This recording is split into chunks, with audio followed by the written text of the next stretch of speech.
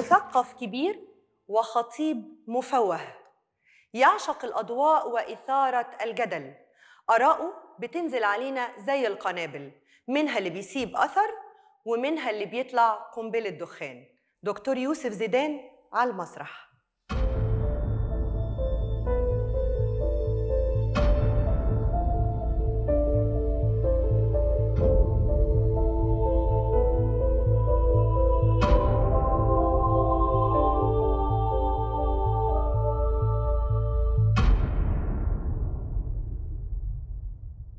دكتور يوسف زيدان لأي مدى بتشوف إن الحياة مسرح؟ يعني آه، لأبعد مدى مسرح لدرجة إيه؟ لدرجة التطابق كل الناس بتمثل؟ لا الحياة مسرحية أحيانا تكون هزلية أحيانا كثيرة يعني وأحيانا بتكون تراجيدية أحيانا كوميدية أصل بصي أي إنسان هو ما اختارش إن يتولد لهذا الأب وهذه الأم هو جلب ووضع على خشبة مسرح دورك بيعجبك في المسرحية؟ لا ما بتحبوش؟ تحب تعمل تعديلات؟ ما مش بإيدي المخرج هو اللي بيتحكم. المؤلف. المخرج. لأنه الإخراج في المسرح آه، يعلو على أهميته يعني تعلو على النص. إيه اللي مش عاجبك؟ ولو في إيدك تعمل تعديلات على دورك تعمله تعدله؟ لا حاجات كتير. زي يعني إيه؟ يعني مثلا ما كان ممكن أتولد أمير مثلا في في العصور السابقة و وما بقاش يعني مثقل كده بالهموم المعاصرة لو حياة يوسف زيدان رواية تسميها إيه؟ ما خطرش في بالي السؤال ده قبل كده لأن هو مفرط في الفانتازيا يعني مالها الفانتازيا؟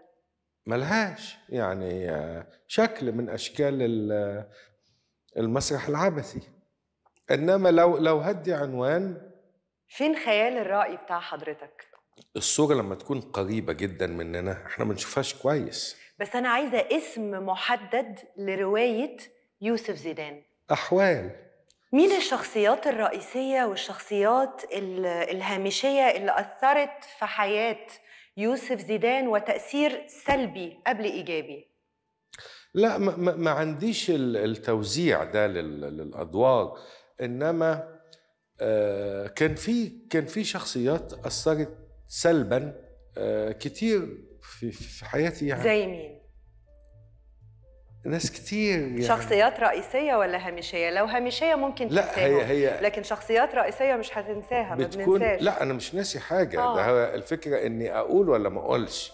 أنت عارف فؤاد حداد عنده قز- آه يقول لك أنا ممكن ما أقولش وممكن أقول. لا حضرتك النهاردة لازم تقول. لا مفيش لازم. لأن في المسرحية الحياتية إحنا محكومين محكومين بجمهور. وبمخرج حضرتك قلت مخرج. وبمخرج عايزة شخص أثر سلبا. الدكتور مثلا أصل الله يرحمه بقى عاطف العراقي مثلا. ده أستاذ كان الفلسفة. آه كان متعقبني. وما رعاش إن أنا كنت يعني آه، كنت صغير ومتحمس وكده. وبعدين هو عرف نفسه مرة بانه صاحب توكيل ابن رشد في مصر. وأنا عندي رأي مبكر. في ابن رشد مش رأي إيجابي. حضرتك غاوي تطلع تضرب لنا الشخصيات. ستي أنا ما بضربش والله حاجة. أنا بقول اللي أنا شفته. الناس اتعودت على الثقافة الاستهلاكية إنه يقرأ العناوين وي- ويشوف الملخصات والبتاع. طيب أنا بقى المسرحية بتاعتي اقتضيت الدور يعني اللي فيها إن أنا أشتغل في المخطوطات وأقعد جنب قدام النصوص فترة طويلة وأتأملها وأعيد بناء التصورات فبوصل لنتائج ما, ما يعني ما أعرفش بتصدم الناس ليه؟ لا عارف بتصدم الناس ليه؟ لأنهم ما عندهمش استعداد يعيدوا النظر. تيمة الشبح اللي بتبقى موجودة في المسرحيات وبيطارد البطل كشيء من من مخاوفه مثلا. مين الشبح في حياة يوسف زيدان اللي بيطارده من الطفولة لحد دلوقتي؟ لا ما ما ما فيش دلوقتي أو مفيش سنين. مخاوف من الطفولة عاشت معاك وعدت. تخلصت من كل مخاوف الطفولة؟ لا ال- ال- ال- المخيف في- الطفولة كان جدي أبو والدتي اللي هو اللي رباني يعني لأنه كان صارم جدا.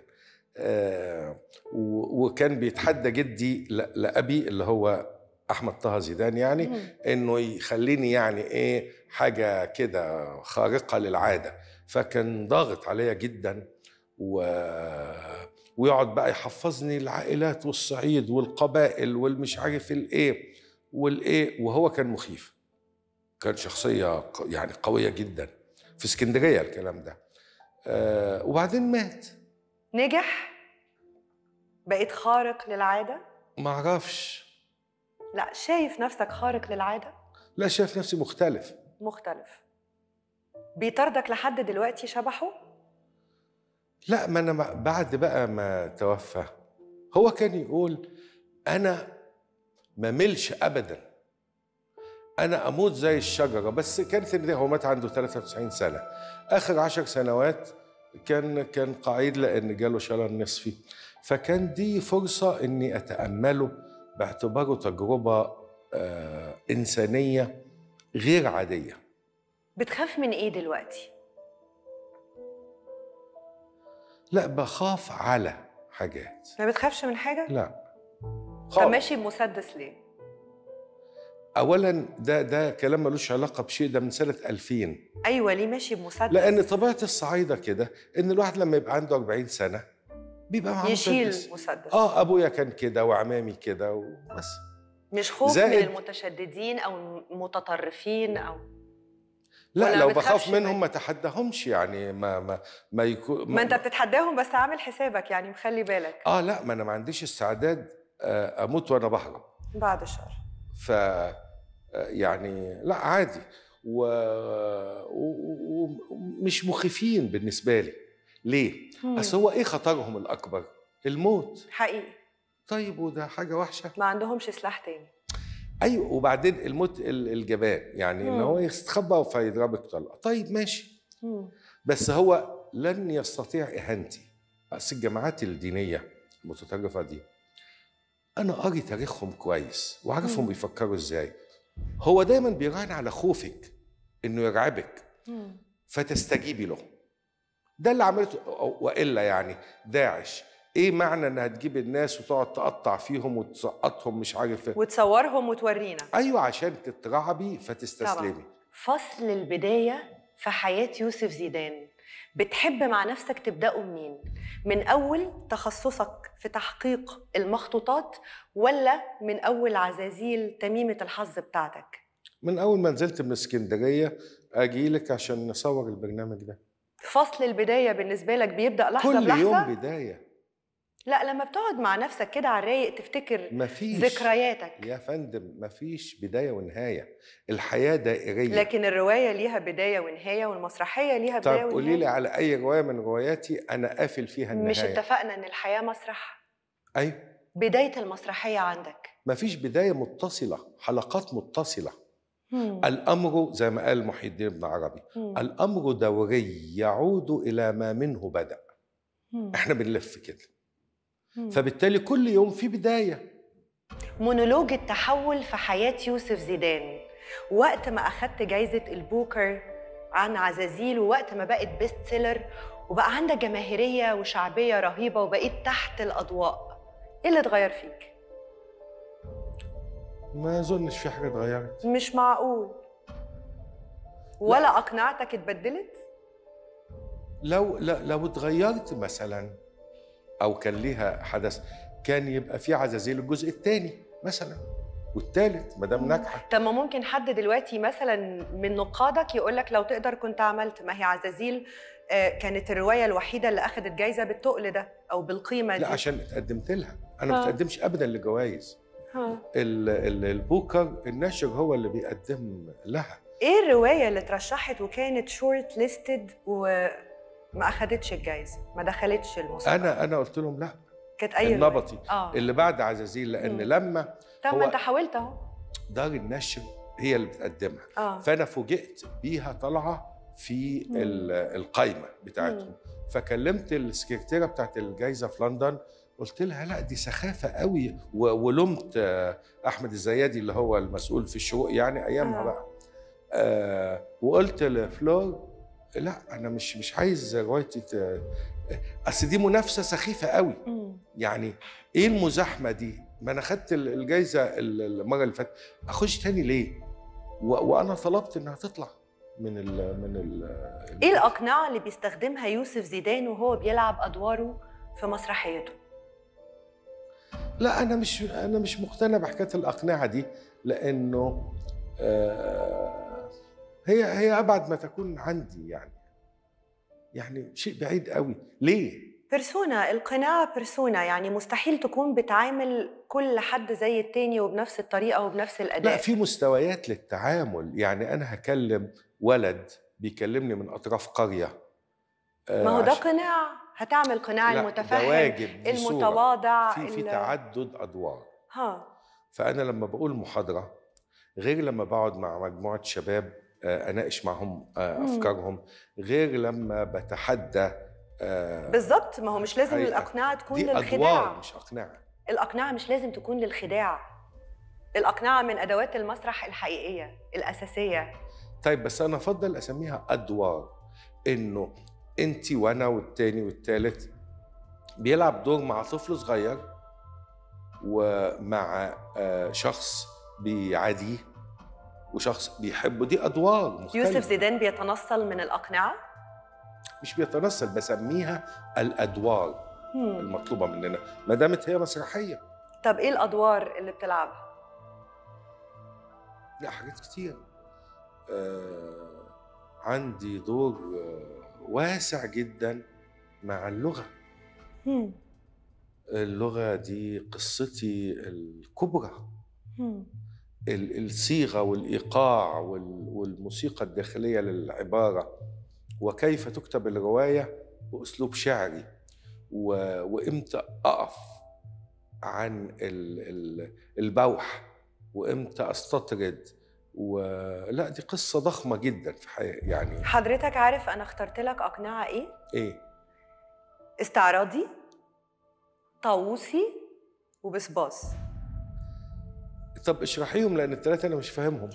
الاستعراضي آه، شفتها في حضرتك لما بتستعرض مثلا في اللغة لما بتستعرض مثلا بمعلومات دينية وتاريخية قديمة وتطلع تفرقع لنا قنابل فيما يخص شخصيات شهيرة أو مرموقة أو تاريخية أو مفهوم ديني وما شابه. طاووسي آه، لما بتتكلم بشعور عالي جدا بالذات. شفت ابتسمت إزاي؟ لا أنا عاجبني الصورة اللي أنت بترسميها لي دي مبسوط منها. حقيقي؟ طب والبسباس يعني إيه بسباس بسباس يعني تقدير حضرتك للحسنوات وكلامك عنهم وغزلك فيهم. ولو شفت واحدة جميلة حسناء. طب ما انت جميلة هم أنا ما غزلتكيش بتسميهم الصبا، الحسنوات. الحسنوات؟ الحسنوات. لا والقبيحات. كمان بتحب والصغيرات والعجائز وأنا أنا منحاز للمراه لأنها مظلومة. مم. إنما أنا لا أذكر ويمكن عشان نشأتي الصعيدي إني عكست واحدة ابدا. لم يحدث غازلت طيب؟ بتغازل مش بتعاكس؟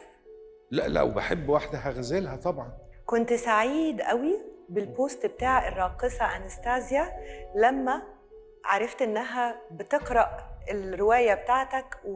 وإنها معجبة بالرواية جدا وأخدت ال post بتاعها وحطيته عندك وقلت قلت يا ريت الدكتور اللي ترجم الرواية للروسي يكون خط غلط غلطات كتيرة فهي تضطر بقى تيجي عشان أشرح لها إيه الموضوع. ودي مش بسبسة وأنا هشوفها فين؟ دي هتيجي عايشة في الغردقة. ما هو ده post في الغردقة يا ده في آخر الدنيا يا دكتور. طيب وأنا لسه هروح؟ الغردقة. هتوصل لها إزاي للغردقة؟ وبعدين أنا ما كنتش اعرفها ده هم الشباب بعتوا لي ال post بتاعها. فأنا فتحت ال ال- أدور مين دي. لقيتها جميلة جدا وبتقرأ النبطي. والنبطي رواية مش مش سهلة. مم. فواضح إنها كانت قرت عزازيل قبل كده لأن الاثنين مترجمين للغة الروسية يعني. مم. فلا يبقى دي مثقفة. فكان نوع من ال- المجاملة كده مش. ونوع من المجاملة إن أنت عرفت كمان عايشة فين؟ أيوه ما هم قالوا لي بقى كتبوا في التعليقات يا دكتور. فبقول لهم يا روسيا بعيدة. قالوا لا دي دي ساكنة في الغردقة. بس أنا رحت الغردقة كذا مرة ما شفتهاش. طيب لو حضرتك مش بسباس فهنعرف استعراضي وطاووسي ولا لا في الفصل الثاني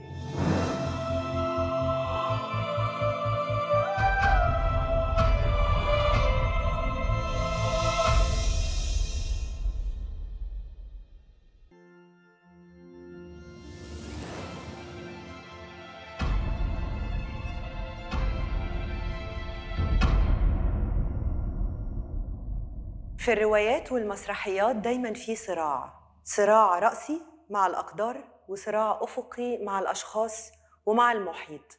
عادة ممكن الصراعين يؤدوا لصراع داخلي بين البطل ونفسه. كان عندك صراعات في تربيتك لأولادك؟ لا. كانت المسألة محسومة تماما.